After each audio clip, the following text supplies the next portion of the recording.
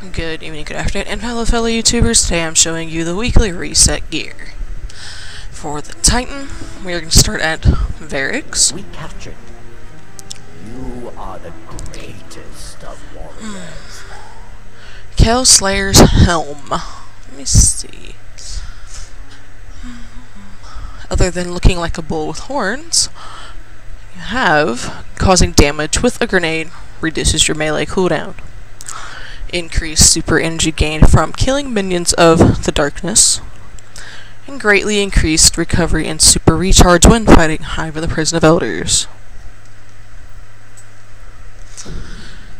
Now, off to Brother Vance for this upcoming weekend.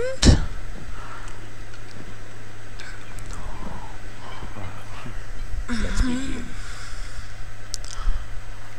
Uh, we have the Gauntlets of Exile.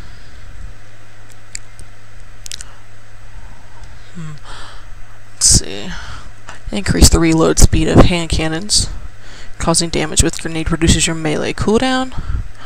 And increase the reload speed of all special weapons. That is all of the weekly reset gear.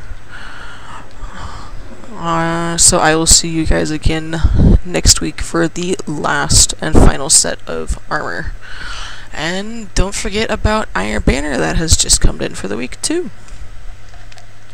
Toodles.